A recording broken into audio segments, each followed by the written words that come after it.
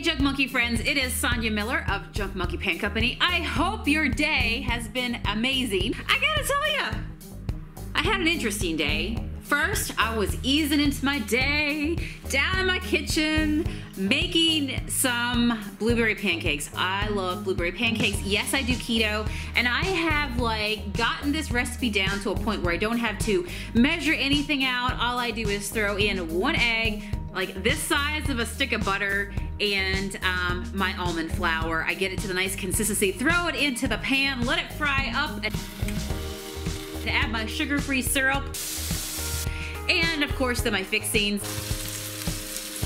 And it is a breakfast made for champs, I'm telling you. Love it with my coffee. Yesterday on the vlog, I told you out of one of the things that I got when I was at Burlington Coat Factory, I also found this cute butter dish. Look at it. It kind of reminded me a little bit of the Pioneer Woman. I just loved all those colors. And it had some shabby roses, so it was calling my name for $4.99. And because I do keto, um, I love butter anyhow. But I definitely do keto, put keto, put butter in my keto coffee, my bullet coffee, you guys have sent me in questions going, what the heck you putting in your coffee, girl? So that's all part of it. Even my pancakes were fried in butter this morning. So I thought, why not go ahead and finally take like the sticks of butter that are in the boxes in the refrigerator and put one into something pretty. So that worked out quite nice. Now at this point, before I get into the DIY project that I wanted to get into today, which is taking some awesome candle holders that I found and making them pretty and incorporating them into my house. I'll show you them in just a second. Me and Matt decided to go ahead and take a bike ride together. As you guys know, if you've been following the vlog, we just got bikes like in the last maybe, I don't know, week and a half or so. And we try to get out for a bike ride every single day. Well, the last two days have been so rainy that it just hasn't been good weather for bike riding. So today it was still misting even this morning, but you know what? We said let's just go ahead and if we get wet, oh well, we ain't sugar, we ain't gonna melt. It was an awesome ride. I kid you not, I saw deer. I saw an orange salamander. There were chipmunks everywhere playing chicken with the bike bikes. And then this happened, okay? So I stopped to take some footage to show you because you guys have asked, well, Sonia, can we see kind of like where you ride bike to and stuff? And so this is the, one of my trails here behind my house that I love to go on. Take a look. This is what it looked like. We've had lots of rain in this area. This is a big tree that's down, a big stump right here behind the greenery. And up ahead, you will see a Matt. Hey, Matt. What a beautiful day on the trail. Now, okay, about probably, I don't know, a minute up the path after I put my phone in to get back on my bike again, I am there with Matt, and we're kind of riding side by side on this paved bike trail. And at first, I'm like, is that a stick? And then Matt goes, that's a snake. And yeah, so if you're ready to see a husband and wife on a trail in the middle of the woods, just basically uh, me, the wife, being like, dude, get away! No, don't touch it! Um, yeah, get ready for this because yes, there was a snake on the trail today. And I've often heard of people biking and like seeing snakes that like come across the road. I'm like, what would I ever do? Like, do they strike at you? Matt actually wanted me to pass it. I'm like, there is no way in heck because, you know, I was afraid that thing would lunge at me or something like that. And um, growing up on an island where I did Newfoundland, we don't have any snakes. And so I've only seen movies like Snakes on a Plane. I know what happens in Anaconda. You know what I'm saying? Well, this just made the bike trip a whole lot more exciting. Guys, look, I was like, what is that? And Matt's like, snake. Oh my gosh. Is it a black snake? Yep. Holy moly. See if he wants to move. Doesn't it look just like a stick on a trail? Yep. Oh, Matt, no, no, no! Come on, guy. He comes back towards me. That's not going to be good. Matt, please. Oh my gosh. This might be the end of the trail for me today. Oh my gosh, Matt. Go, guy. Go. Matt, oh my gosh, he wants to strike you. Okay, no, no, no, do not proceed ahead. Matt, there's no way. Oh my God. I told you black snakes get frisky. That's why I want to use Okay, stick, right? I'm turning around right now. This is how this saga ends. We are turning around. No, Bye-bye. See you later. That's what's happened, guys, just so you know if you're watching this. Go. Oh my gosh. I was just like, seriously, I was like hauling my bike to go the other way. Like, dude, we ain't doing it. Like, stop. This is the marker. This is where we stop. The snake is the marker. We ain't going to push it. And guys, even when I turned this video off, Matt, of course, was still trying to push it by trying to like spur the snake to move off the side of the road, just touching it a little bit with his wheel to try to get it to edge on and move on there, buddy. And, uh, and I kid you not, I've never seen a snake. It continued to coil up and to actually, it tried to, uh, not tried to, it did, it was, uh, what's it called, striking, right? It was striking at Matt's tire. Oh my gosh. Well, I never pedaled so fast uh, in all my life. But then that wasn't the entire excitement because on the way back, I decided to run over a groundhog and crash my bike. Now there is no footage of this, only scrapes and bruises and a swollen hand right now, but thank gosh it's not my paint hand. Yeah, when we were biking last week, Matt, we went through the brush, and you know how sometimes, I guess when you have two people on a bike and one person goes past some bushes where there might be a critter, they get spooked, and by the time they run out, the second person is behind them and they get it, right? Well, that happened last week when I was going ahead of Matt, and um, I guess I spooked a groundhog that was in the side brush, and as soon as I passed him, he came out and Matt had to actually like kick him with his foot because the thing ran, ran right into his pedals. And we were laughing and I remember looking back, but the thing is he just like sort of ran into the pedal and then went under the bike and went all the way through the other side. I remember looking back, Matt like give this, give, gave this big yelp out and uh, it got to the other side, you know, we were worried like hopefully it's okay. And Matt was okay. He didn't fall off his bike or anything like that. So then Matt decides this week to go ahead and says we need some shin guards like these these things that you pull up on over your legs because if you're like us and we're wearing shorts right now but like biker shorts um, you know that to protect your legs. And I'm like oh come on. The chances of a groundhog? Yeah right. Like that is just crazy. Just crazy stuff like that happens to Matt. Well today it happened to me except the groundhog didn't come right from my pedal it literally came right from my front wheel. And so Matt was ahead of me. I saw him come out the groundhog and I squished on my brakes real fast. It, my bike even like squealed. You know when you get the, the squeal that comes out of your bike because you hit the brakes so quick. And I kid you not, the groundhog still kept running for me to the point with me trying to swerve, my bike wheel ran over the groundhog, and as the groundhog continued to go across the road under my bike wheel, my bike went sideways, and so did I, and I completely busted my butt, fell on the ground, and I, like I said, I've got lots of uh, scrapes on my leg and stuff like that, really sore. Landed on my side and grabbed my, or caught myself with my hand. Thank goodness I had like heavy, you know, Matt hooks us up, so I'm thankful for that. I got the gloves that he told me I should. Anyway, I think that starting tomorrow's ride, I am going to definitely wear the leg guards you know, you don't know what you don't know until you start like riding a bike and going lots of miles. Today we went 17 miles. So yeah, I guess there was a lot of critters in that far deep into the forest, but it was just a beautiful ride. We love it so much, but man, you live and learn. So a message to all, this is a PSA to all you guys out there, okay? If you're gonna do some serious biking and do it a lot, you might wanna consider like the elbow pieces, the knee pads, all that sort of stuff, right? We do have the helmets, but now it's made me realize I need a few more parts. So if you pass me on the bike trail and I look like I have a suit of armor on, just know, girl hit a groundhog, that's why. And now she dresses like this. I kid you not. You know, when I saw the orange salamander, I thought that would be the highlight, but no, no. Okay, so that's enough about me, the snake, and the groundhog.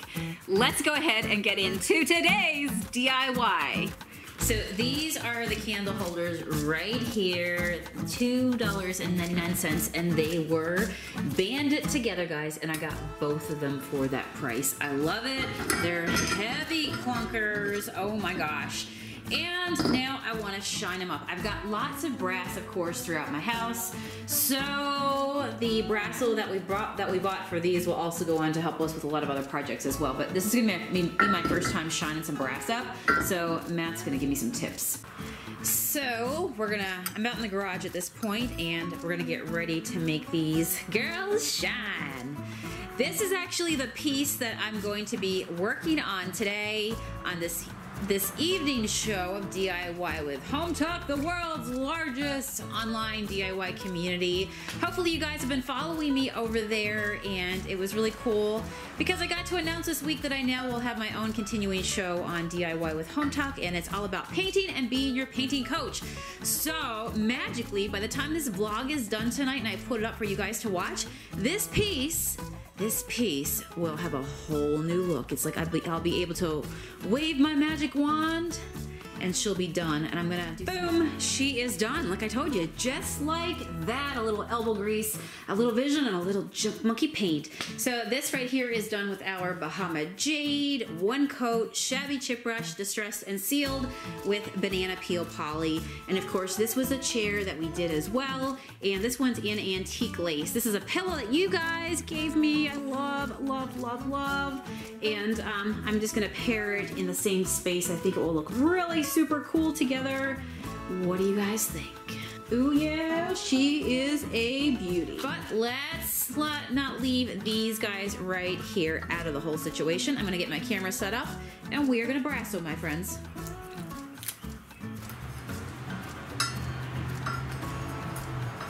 All right, guys, so I found some gloves. This is a good thing, right, Matt? I just want, I don't know what yeah, happens yeah. when you get brasso on your hands, no. right? I'm following Matt's lead here today because he tells me he's used lots of this stuff when he was in the military. How would you have used it? You use it for your belt buckles and everything else. Oh, really? Yeah, use it to the point where you wear the brass out. Yeah. All right, so these are brass, right? Yes, those are brass. All right, show me what I gotta do. So we'll find out quickly if they're not brass. I went ahead and I cut one of these just cheap washcloths in half because according to the instructions, I have to rub it on and buff it off. Yep. Okay, let's do it. That's it. So this is going to turn black. It's going to turn black? Yeah, because it's taking all the... What? All the tarnish? Yep. You can smell that? Mm. Oh, that's strong. Yeah, yeah. We used to get it in felt, like you'd rip it off and come in a can and you rip it off. See how that's turned black? Yeah. So what exactly is happening right now? Uh, chemical reaction. It's eating the tarnish off of. Really? Uh, Do you need the gloves? I'm with the gloves, yeah. and you don't have any. No, you just wash your hands afterwards. Okay. I just have sensitive skin, guys. I am somebody who like. Uh, I feel like when I deal with chemicals, I want to make sure that my hands are protected. Matt, he's just like all in there. Well, I can tell you right now that this is not brass. It's not? Nope, and it's not going to shine. Oh, what do you think that it is? That is a faux finish on a piece of piece of uh, metal. Is it really? Like a, like piece of junk steel. They're so yeah. heavy. So you think yeah, made it of like yeah. steel or something? Yeah, they're just pot steel, pot metal or steel, and. Uh, yeah, that's just spray paint. Yeah, it's not going to go anywhere. So we're going to take this. Yep. I'm going to go like this. Yep. And that's how you take brass off is by doing stuff like that. Mm-hmm. So, it is kind of cool with the black that showed through right there. Yeah. I'm all about that. All right, let me pull this up so you guys can see what Matt's doing right here. Yeah. Yeah. It didn't do a whole heck of a lot because, like I said, this is actually spray paint. Yep. There's a black coat and then they spray painted the gold over top of that to give it ah. like a distressed look. So she gold. Wah, wah. She's still beautiful. I love her. Wah, wah, wah. So you're better off just, just taking a general cleaner. Yeah. And cleaning them up. Okay, let's try that. So we'll save the brasso for the actual real brass stuff in the house. Gotcha. Well, thank you for this lesson, Matt. You're welcome. Lesson learned. All right, now to figure out what we're going to do with these so many possibilities. I mean, now, if I really wanted to, I could even like paint them white or something, you know? Hmm. Let's see what we do. Okay, so I went to my cleaner stash and I'm like, maybe some glass cleaner, but Matt suggested this probably would work really well. 409. So I'm gonna go ahead, just use my, basically this is just an all-purpose cleaner. And since we know that these are just faux painted, at the end of the day, we're just gonna clean them up.